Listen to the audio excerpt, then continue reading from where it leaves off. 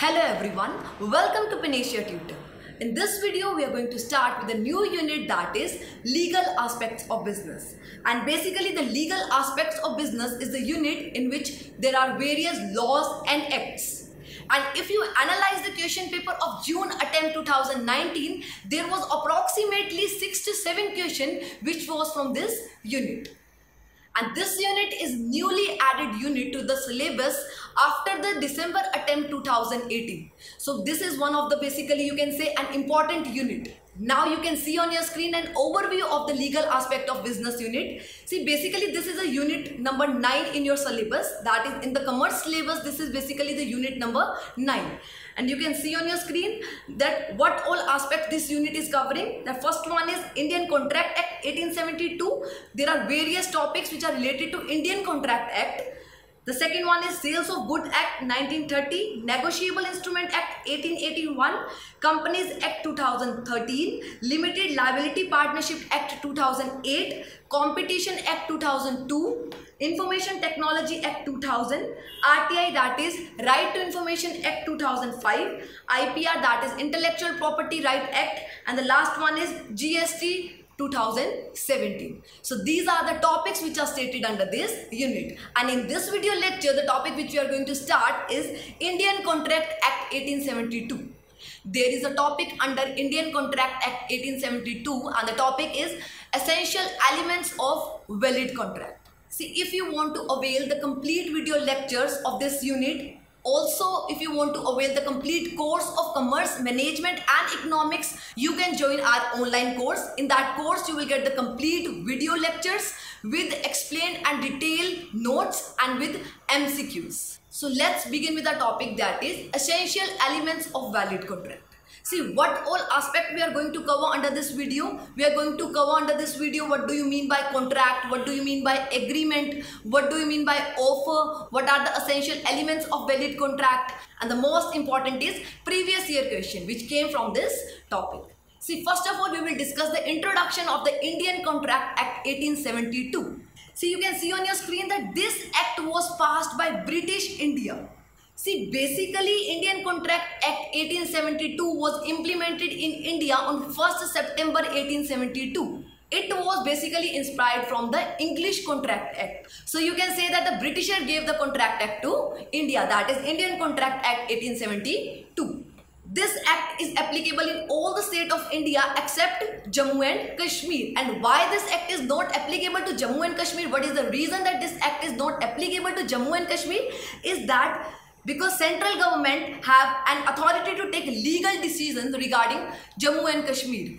So basically they can ask you the question that Indian Contract Act 1872 is not applicable in which state and the answer will be Jammu and Kashmir. In rest all of the states Indian Contract Act 1872 is applicable but only the state which is Jammu and Kashmir the Indian Contract Act is not applicable. So this was a brief introduction of Indian Contract Act 1872. See, there are some important facts which is related to Indian Contract Act 1872 like Sales of Goods Act and Partnership Act was also an part of Indian Contract Act. But now these acts are different from Indian Contract Act and Indian Contract Act plays a individual role now. And Sales of Good Act is different and Partnership Act is different. And in our this unit, we will cover the Sales of Goods Act that is 1930 and Limited Liability Partnership Act 2008 also. See, before starting the topic, we should clear some basic terms which are used in Indian Contract Act 1872 and the first term is offer. That what do you mean by offer? See according to section 2 subsection A when a person made a proposal when he signifies to another his willingness to do or to abstain from doing something. See when you're ready to do something it means offer. See for example you can take that I want to purchase a Maggi packet now you went to a shopkeeper and told him that you want Maggi and you gave 10 rupees to him. He took your 10 rupees and gave you the packet of Maggie. That is offer and acceptance that there should be an offer also your willingness to purchase something is known as offer. And the next thing is agreement. Now, what do you mean by agreement? This is a very important term, agreement. Now, agreement means according to section 2 subsection E, every promise or set of promise forming consideration for each other is known as agreement. You can see on your screen that agreement is equal to offer plus acceptance. Now when I went to a shopkeeper and I told him that I need a packet of Maggi. Now if the packet of Maggi is available in that shop, then only he will accept my offer. If the packet of Maggi is not available in the shop, then he will not accept my offer. So what do you mean by agreement? When there is an acceptance in offer, then it is known as agreement. When there is no acceptance in offer, it is not known as an agreement and here you have to be very careful that for agreement you need and consideration. What do you mean by consideration? Something in return. You will pay for that maggi packet and then only you will take that maggi packet. So this was all about agreement. That agreement is what? That when offer plus acceptance is equal to an agreement. So this was about an agreement. Now we will move to our next term that is contract. See now what do you mean by contract? According to section 2 subsection H, a contract is defined as an agreement enforceable by law. Now, when we add the enforceability into agreement, it is known as contract. You can see on your screen that contract is, is equal to agreement plus enforceability before law. Now, what is the basic difference between, you can say a simple difference between agreement and contract? That in agreement, what you are doing, that agreement is equal to offer plus acceptance. Now, in contract, what you are doing, that contract is, is equal to agreement plus enforceability before law. So, you have to be very careful that what is added to the agreement to make it contract. So what is added that is enforceability before law. Now the term come enforceability that what do you mean by enforceability? See enforceability means recognized by court of law that is if one party took a contract fails to fulfill his promise then the other party can go to court and claim right legally. Now we will continue with our example that if you are going to a shopkeeper and saying that you want a packet of maggi and you gave 10 rupees for the packet of maggi. Now in return he is not giving you the packet of maggi. So you can file a case against him because he is not fulfilling his obligation at that time. And this is known as basically contract now you can see that what is the meaning of enforceability we have discussed and what are the source of that enforceability. See basically the source of that enforceability is essential elements of valid contract which we will discuss in our later slides. That you have to be very careful here that what do you mean by enforceability and what are the sources of that enforceability? See what do you mean by enforceability? Or you can say enforceable means that you can take a legal remedy against any party which has not fulfilled the obligation. Now what are the sources of that enforceability? The sources of that enforceability is essential elements of an valid contract so this was all about the agreement and contract हमने क्या पढ़ा कि जब हम agreement के साथ किसको add on करते हैं? लीगल ऑब्लिगेशन को ऐड करते हैं तो हमारा क्या बन जाता है? कॉन्ट्रैक्ट बन जाता है। तो बेसिक डिफरेंस क्या था दोनों में? जब हमने एग्रीमेंट पढ़ा तो हमने क्या करा? ऑफ़र प्लस एक्सेप्टेंस किया। जब हमने कॉन्ट्रैक्ट पढ़ा तो हमने क्या किया? Agreement plus enforceable before law So this is the basic difference between agreement and contract. Now you can see on your screen that all agreements are contract but all contracts are not agreement. This is a very important line. The question which came in June attempt 2019 we will discuss at the end of the lecture. So you can see on your screen that what they are saying that all agreements are contracts but all contracts are not agreement. Now what do you mean by this? See we have studied that in agreement what you want that offer plus acceptance but in contract what you want agreement plus enforceability before law. So here you can say that agreement is wider as compared to the term contract. An agreement with social obligation, incompetent parties, unlawful consideration, etc. cannot be termed as contract. See, so you can say that all contracts are agreement because in contract agreements are already added but in agreement legal enforceability by law is not added. So all contracts are agreements but all agreements are not contracts. Now we will discuss the basic difference between agreement and contract. You can see on your screen. First one is meaning that when a proposal is accepted by person to whom it is made with requisite consideration it is an agreement. I told you that for an agreement you require an offer plus acceptance plus you need an consideration also what do you mean by consideration something in return आपने rupees ten दिए किसको उस shopkeeper को क्या purchase करने के लिए Maggi को परचेज करने के लिए तो वो आपका क्या हुआ एग्रीमेंट हुआ जहाँ पर आपने कंसिडरेशन पे किया On the other side, you can see contract that when an agreement is enforceable by law, it is known as contract. The second point is agreement का section कौन सा section 2 subsection E and contract का section कौन सा section 2 subsection H. The next point is element elements हमारे क्या क्या हमने डिस्कस किए हैं कि एग्रीमेंट के अंदर कौन से एलिमेंट चाहिए? Offer plus acceptance and contract हमें कौन से एलिमेंट चाहिए? Agreement plus enforceable by law The next thing is registered. In agreement, there is no need to register yourself, but in contract, registration must be there, whether it can be written also or it can be oral also. The next point is legal obligation. Now, in legal obligation, in agreement, it is not created, but in contract, it is created. So, this was basic difference between agreement and contract. The basic thing which you have to remember is that in agreement, you need offer plus acceptance and you require consideration. Consideration means something in return. But on the other side, contract contract में क्या है? Agreement plus क्या?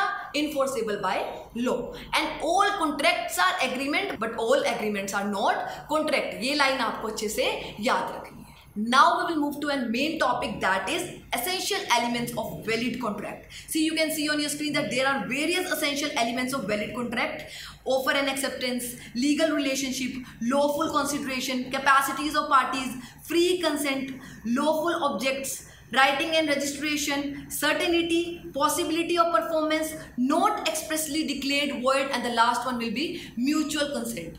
One by one we will discuss the each element of valid contract. Now the first one is offer and acceptance. So you can see on your screen that for an agreement there must be a lawful offer by one and the lawful acceptance must satisfy the requirement of the contract act. The offer must be made with the intention of creating legal relationship otherwise there will be no agreement. Suppose A says to B that he will sell his bicycle to him for a rupees 2000 rupees. Right? Now this is known as offer.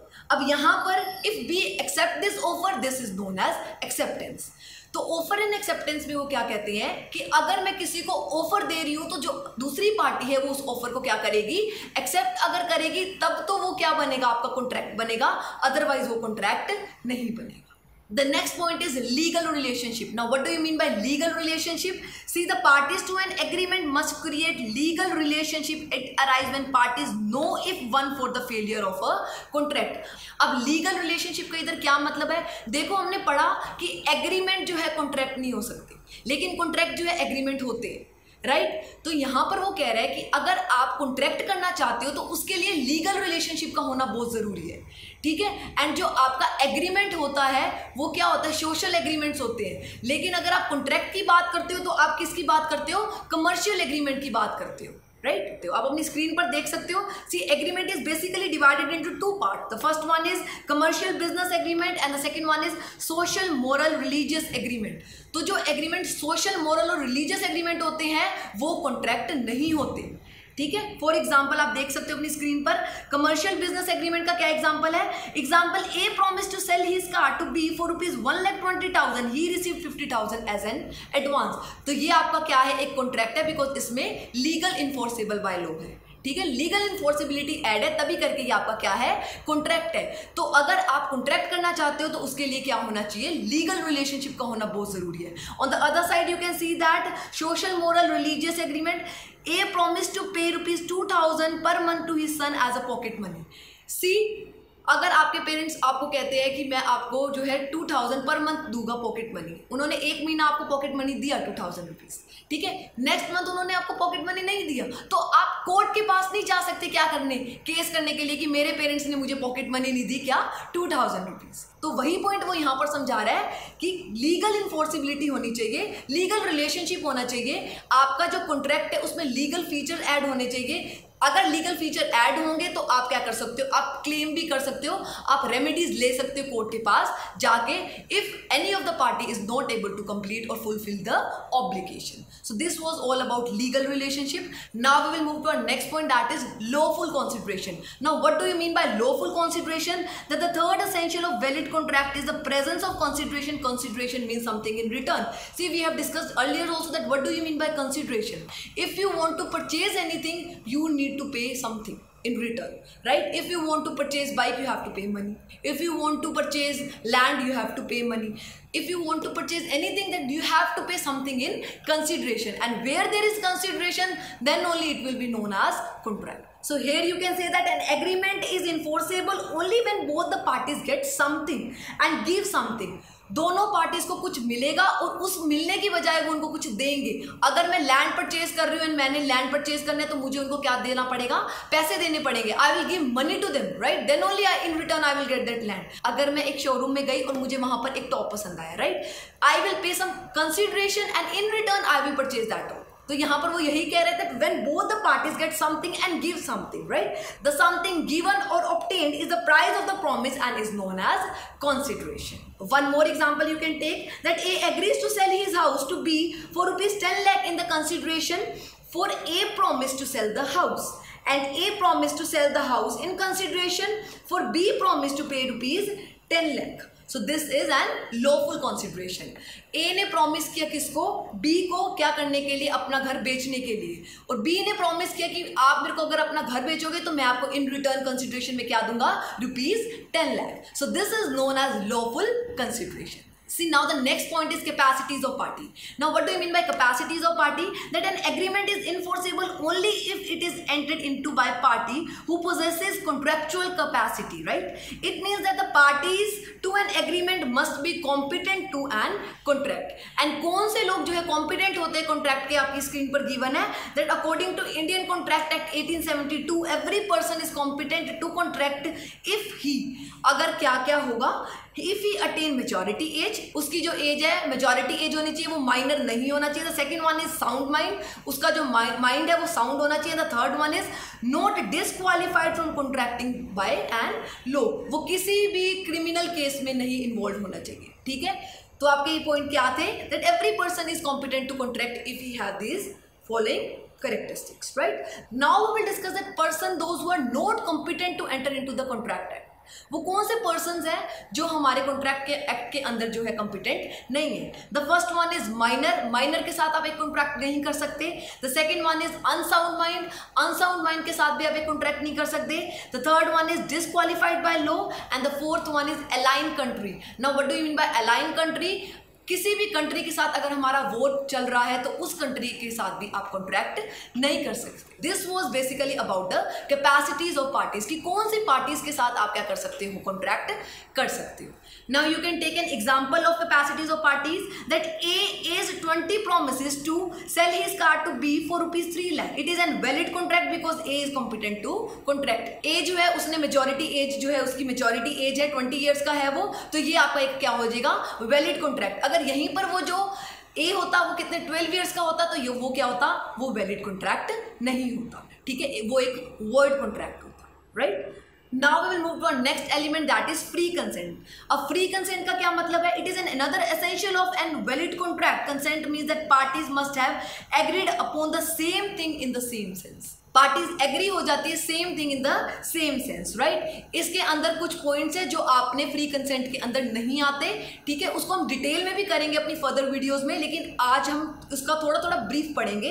The first one is coercion coercion जो आपका section 15 के अंदर आता है। The coercion means forcibly compelling a person to enter into an contract अगर मैं gun लेके आपके सिर पर गन रख के कह रही हूँ कि इस पेपर पर साइन कर, जो कि आपके घर की रजिस्ट्री के पेपर है, और उस पर साइन कर, ठीक है? और मैंने आपके सिर पर गन लगाई हुई है। तो वो क्या होगा? कोर्जन होगा। उसको क्या कहते हैं हम? कोर्जन कहते हैं मतलब फोर्सफुली जो है आप उससे क्या करवा रहे हो? कॉन्ट्रैक्ट करवा रहे हो। ठीक है? तो वो एक वैलिड कॉन्ट्रैक्ट नहीं माना जाएगा। The next one is undue influence which comes under section 16 subsection one वो क्या कहते हैं? Undue influence is the proper exercise of authority over the mind of one of the contracting parties by the other अब undue influence में वो क्या कहते हैं? यहाँ पर वो कोर्जन में वो फिजिकली टॉर्चर करता था। अनड्यू इन्फ्लुएंस में वो मेंटली टॉर्चर करता है। फॉर एग्ज़ाम्पल आप एक ऑर्गेनाइजेशन में काम कर रहे हो राइट एंड आपका बॉस आपको ओवर टाइम लगाने को कहता है। वो कहता है, अगर आप ओवर टाइम लगाओगे, तभी मैं आपका क्या करूँगा? प्रमोशन करूँगा। So this is a case where we are forcing forcing कर रहे हैं, लेकिन मेंटली वाइज हम उसको क्या कर रहे हैं? टॉर्चर कर रहे हैं।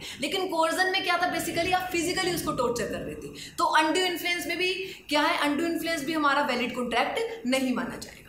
See now the next one is fraud under section 17 अब फ्रॉड का क्या मतलब है कि आप किसी को जो है फ्रॉड करके कुछ चीज़ कर रहे हो। For example you can say कि अगर आपने किसी का एडमिशन करवाना है, ठीक है? एडमिशन में अगर आपकी परसेंटाइल कम है, लेकिन वो आपसे क्या ले रहे हैं? वो आपसे डोनेशन ले रहे हैं तो वो क्या हो गया? एग्ज़ाम्पल हो गया किसका?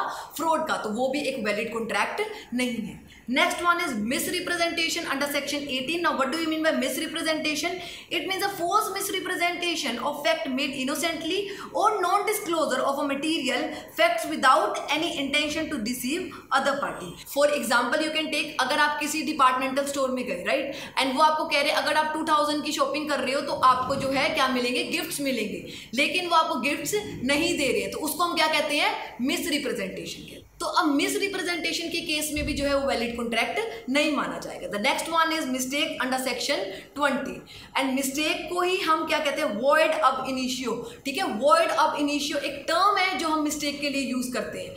अभी मतलब क्या है इसका? Mistake is defined as an incorrect which leads to party to misunderstand the other ठीक है? मिस अंडरस्टैंड करना अदर को, जिसको हम वॉइड अप इनिशियो भी कहते हैं। Void of initio में आप एग्ज़ाम्पल ले सकते हो। See P agree to buy a horse from Q at the time of bargain the horse was dead though neither party was aware of this fact. The agreement is void. In this case, the fact that horse was dead is essential to the agreement. आपने क्या किया? एक agreement किया किससे P agreed हो गया क्या करने के लिए? बाय करने के लिए एक हॉर्स को किससे? क्यू से राइट जब आपने बार्गिन किया है, उस टाइम पर हॉर्स जो था वो डेड हो गया। था तो ये भी एक वैलिड कॉन्ट्रैक्ट नहीं माना जाएगा। एंड इसी को हम क्या कहते हैं? वॉइड अब इनिशियो तो यहाँ से वो आपसे टर्म पूछ सकती है। And the next element is lawful object now, now what do you mean by lawful object the object for which the agreement has been entered it should be lawful it should not be fraudulent it should not be illegal for example you can take smuggling match fixing कोई भी आपका ऐसा contract नहीं होना चाहिए जिस जो law के अगेंस्ट हो ठीक है जो लॉ ऑब्जेक्ट से अगेंस्ट हो इलीगल हो इमोरल हो तो आपने कोई भी ऐसा कॉन्ट्रैक्ट नहीं करना तो contract should be lawful The next point is writing and registration. Now, what do you mean by writing and registration? In writing and registration, what they are saying, the contract must be in oral or in writing. See writing and registration में क्या आएगा कि जो आपका contract है वो orally भी हो सकता है और इन रिटर्न भी हो सकता है ये आपके कॉन्ट्रैक्ट के नेचर पे डिपेंड करेगा you can take an example A verbally promise to sell his books to Y for rupees two hundred it is an valid contract because the law does not require it to be in writing for example इधर हमने क्या लिया एक verbally promise की है किसने एक person ने अपने वाइफ को कि मैं आपको टू हंड्रेड रुपीज़ की बुक दे दूँगा। तो इसके लिए एक रिटर्न कॉन्ट्रैक्ट की ज़रूरत नहीं है। And the next example you can take of written that is a verbally promise to sell his house to be it is not a valid contract see जब हम कोई भी इमूवेबल प्रॉपर्टी का contract करते हैं तो उसकी एक रजिस्ट्री ठीक है, उसकी एक डीड तैयार करते हैं so it should be in written so yes you can say that it can be orally and written so it depends on the nature of your contract that whether it should be in the written form और it should be in the oral form so this was all about writing and registration. The next one is possibility of performance. Now what do you mean by possibility of performance? That the contract should be possible to perform ऐसा contract नहीं होना चाहिए जो impossible है। आप एक और example ले सकते हो कि एक डॉक्टर कह रहे हैं कि मैं डेड बॉडी को ज़िंदा कर सकता हूँ। So this is not possible and the next essential element is not expressly declared void now what do you mean by not expressly declared void that an agreement must not be one of those which has been expressly declare to be void by the section 24 230 explains certain types of agreement which have been expressly declared to be void. For example, you can take here restraint of trade, restraint of marriages. Example आप इधर क्या ले सकते हो अगर A ने promise किया है बी को कि मैं तेरे को अपना हाउस जो है बेच दूँगा लेकिन मैं तेरे को अपना हाउस तभी बेचूँगा जब तू मेरी सिस्टर से क्या करेगा शादी करेगा so this is an void contract this can not be and valid contract तो जो आपका इस पॉइंट में वो क्या कह रहे हैं? नॉट एक्सप्रेसली डिक्लेयर्ड वर्ड ये शुरू से ही आपका क्या है? एक वर्ड कॉन्ट्रैक्ट है तो इसको हम वैलिड कॉन्ट्रैक्ट नहीं मान सकते right the next point is mutual consent और you can say consensus ad idem ठीक है? एक टर्म यूज़ होती है कंसेंसस एड एडिंग अब इसका मतलब क्या है म्यूचुअल कंसेंट का? That there should be a common mutual understanding between the parties to contract in other words both the parties must agreed upon the same thing in the same sense यहाँ पर आप एक example ले सकते हो कि एक ए है और एक बी है। ठीक है? ए ने प्रॉमिस किया बी को कि मैं आपको अपनी एक्टिवा सेल करूँगा। एंड ए ने अपनी एक्टिवा सेल करनी थी और बी को लगा जो उसकी एक्टिवा का जो कलर है वो ब्लैक है। लेकिन ए की एक्टिवा का कलर जो क्या था? वो रेड था। उसने रेड एक्टिवा नहीं लेनी थी। लेकिन बी को क्या लगा कि ए की एक्टिवा का कलर क्या है? ब्लैक है राइट तो यहाँ पर वो क्या कह रहे हैं कि आपका जो कॉन्ट्रैक्ट अगर आपने करना है तो सेम माइंड आपका होना चाहिए सेम माइंड सेटअप होना चाहिए। So the line is written that in other words both the party must agree upon the same thing in the same sense ठीक है? सेम थिंग सेम सेंस में हमने perceive करना है। तो इसी को हम क्या कहते हैं? Consensus ad idem So this was about mutual consent and the last one is certainty. Now what do you mean by certainty? That there should be not be any uncertainty in the terms of an agreement. Right wordings of an agreement must be clear and not vague और confusing जो भी wordings आप use करें वो clear होने चाहिए वो confusing नहीं होने चाहिए for example you can take care that A agrees to sell B a thousand ton of oil right A ने एग्री किया बी को कि थाउजेंड टन ऑफ ऑयल बेचेगा ठीक है ना ऑयल कितने टाइप्स के हो सकते हैं रिफाइंड ऑयल हो सकता है क्रूड ऑयल हो सकता है अब यहाँ पर उसने वो सर्टन नहीं किया कि कौन सा ऑयल उसने बेचना है so this was all about the essential element of valid contract Now we will discuss the question which came in our June attempt 2019. You can see on your screen the first question. Statement 1 agreement without consideration is always valid and statement second all contracts are agreement but all agreements are not contract. और ये दोनों point हम discuss कर चुके हैं. See in agreement I told you that agreement require acceptance plus offer with consideration. So first statement is incorrect and the second statement that all contracts are agreement but all agreements are not contract. We have discussed this. So answer will be option number 3 that statement first is incorrect and statement second is correct. Next question is arrange the following in order of their manifestation. Offer, acceptance, breach of contract and contract. आपने इसको एक serial order में arrange करना है. See first comes offer, then comes acceptance then come contract and then come breach of contract what do you mean by breach of contract breach of contract means जब आपका contract जो है खत्म हो जाता है and we will discuss this in detail in further video lectures right so the option will be a b d and c the answer will be option number 2 So this was all about essential elements of valid contract. If you liked our video, please subscribe our channel Panisha Tutor. And if you want to avail the complete course of Commerce Management and Economics, you can contact us at the given email ID or you can WhatsApp also. In that complete course, you will get a complete video lectures of each and every unit with a detailed notes and lots of MCQs. Thank you.